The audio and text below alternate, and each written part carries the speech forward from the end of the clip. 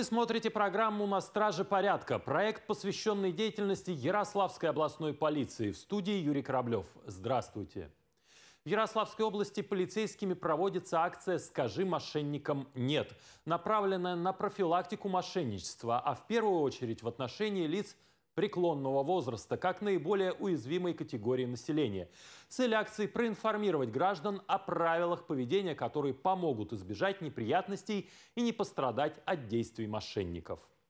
Встречи профилактического характера проводятся сотрудниками органов внутренних дел в различных социальных учреждениях. Так, сотрудники полиции провели встречу с пенсионерами в Ярославском региональном отделении Общероссийской общественной организации «Союз пенсионеров России». Начальник пресс-службы ОМВД России по Ярославской области Марина Какуева напомнила им правила безопасного поведения, рассказала о способах мошенничества, в том числе с использованием банковских карт и сотового телефона, и о том, как уберечься от таких преступлений. Никогда никогда никакие банки подобных смс-сообщений не рассылают. По телефону банковские карты не блокируют и не разблокируют. Если вам пришло такое сообщение или позвонили, то есть вы об этом вспомнили, смс вы не открываете и не переходите по тем ссылкам, которые вам приходят. И не перезваниваете на тот телефон, который приходит вам в, этой, в этом смс-сообщении. И хотя многие участники встречи пояснили, что слышали о подобных фактах и о том, как защититься от действий мошенников, они с большой заинтересованностью еще раз выслушали эту информацию. Здравствуйте, а вы когда не сталкивались с мошенниками? Если сталкивались, как вы с ними боролись? Мы сталкивались. Просто это позвонили, зашли, э, ну он открыл им, возраст уже такой, 78 лет. А знаете, как уберечься от таких мошенников? Ну, много информации пишут. Ну а что знаете? Сведения, что не ходить по ссылкам, не перезванивать, не отправлять смс -ки. Участникам раздали листовки по профилактике мошенничества. Мы напоминаем основные правила безопасного поведения, как защититься от мошенников. Не будьте доверчивыми, если по телефону вам сообщили, что сын или внук попал в ДТП, нужны деньги, чтобы спасти попавшего в беду родственника. Вы выиграли приз. Вам положена компенсация. Ваша карта заблокирована. Не верьте, это мошенники. Уважаемые пенсионеры, не вступайте в общение с незнакомыми людьми, не открывайте им дверь, будьте осторожней. Вы считаете, что зарегистрировать свой автомобиль непросто, а процесс постановки на учет займет много времени. На самом деле это заблуждение. Предлагаю вам воспользоваться порталом государственных услуг и записаться на регистрационные действия через интернет. Для получения государственной услуги в электронном виде необходимо иметь личный кабинет на едином портале государственных и муниципальных услуг Российской Федерации www.госуслуги.ру. Регистрация личного кабинета на портале госуслуги состоит из трех этапов. Этап 1. Регистрация упрощенной учетной записи.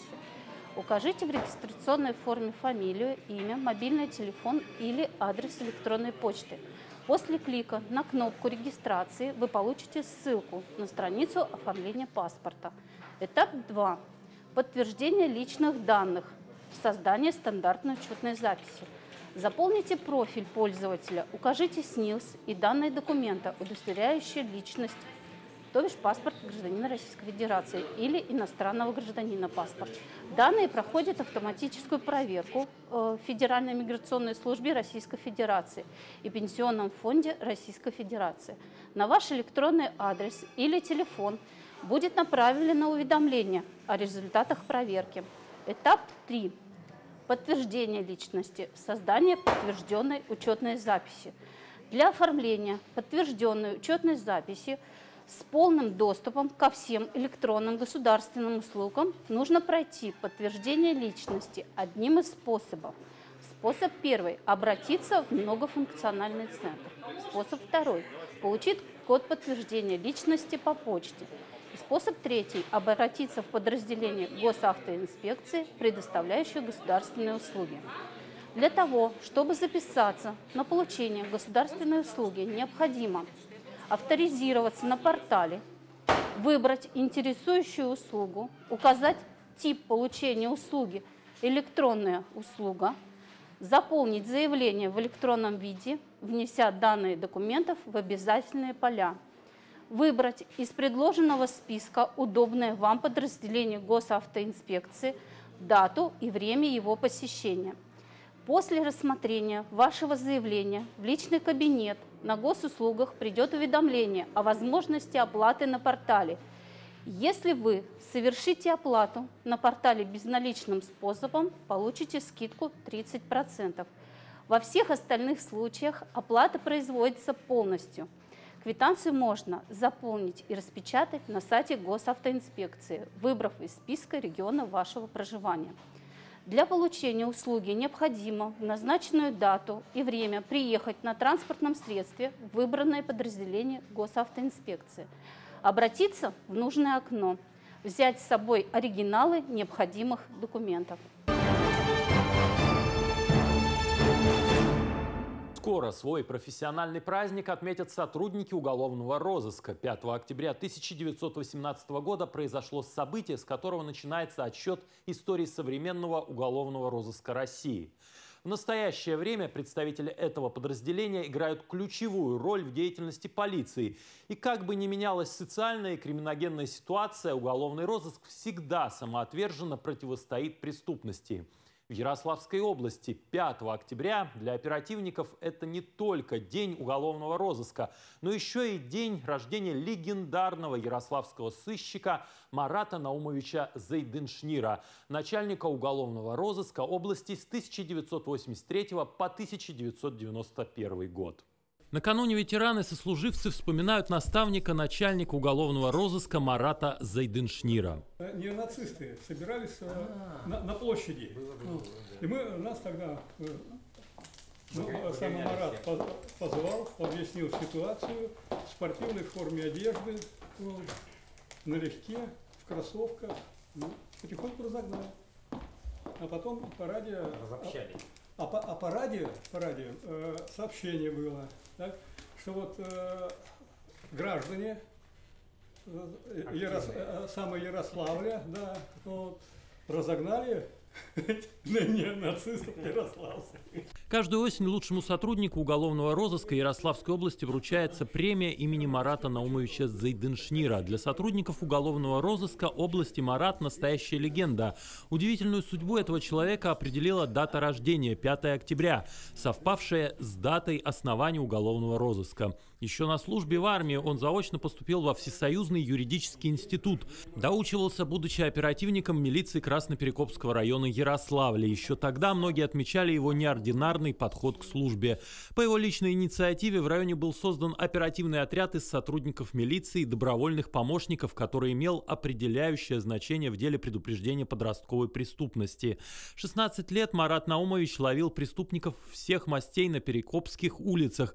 За эти годы десятки раскрытых преступлений, огромнейший опыт. После этого 6 лет в должности заместителя, потом многие годы начальника уголовного розыска Ярославской области. С тех пор прошло немало времени, стали ветеранами его сослуживцы, но и молодые сотрудники знают и помнят этого удивительного человека. Конечно, каждый, близко знавший его, хранит в памяти свой образ. Вдруг звонок в опорном пункте, э, вооруженный ножом, нападает на участкового, на инспектор, и ДН помощи была.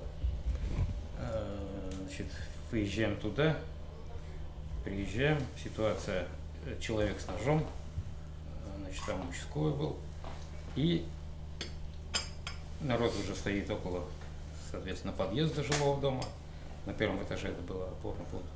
И, значит, заходим туда, заглядываем в комнату, он в большой комнате сидит, нож держит в руках. Ну, сейчас, говорит, зарежем. Маратович уже, наверное, полчаса сидит, убеждает его, пытается. Вроде начинает уставать, э, то есть ситуация подходит где-то ну, близкая к тому, что он уже устанет, сейчас начнет скрывать, наверное. А тот монотонно так с ним разговаривает, разговаривает постоянно. И э, Торбов вдруг неожиданно кидается туда, и мы сколько еще там, трое, четверо туда тоже в кучу. Так нож хватаю, выхватываю Филиппу, отдаю, говорю, да, уноси свалка. Рад как сидел, так и сидит. Смотрит на эту ситуацию. Потом встали, он его похлопал по плечу. Ну что ж, тебе говорил, раньше надо было все это сделать. Так спокойно все это разошлось.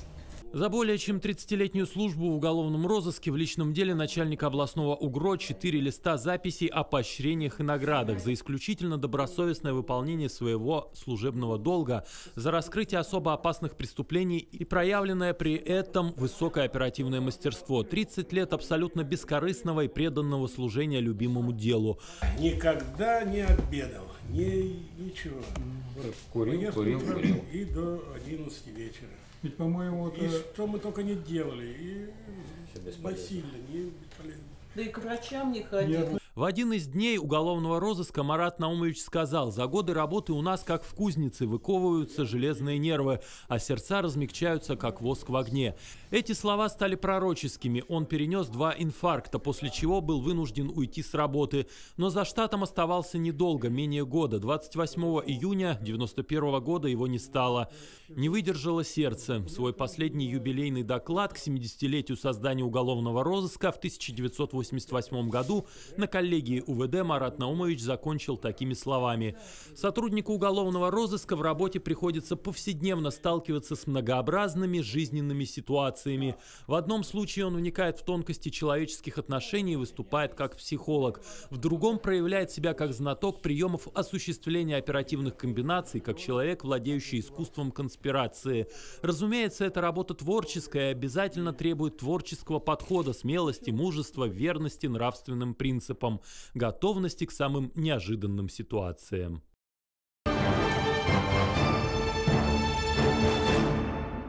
Вы смотрели программу «На страже порядка». Проект, посвященный деятельности Ярославской полиции. Берегите себя.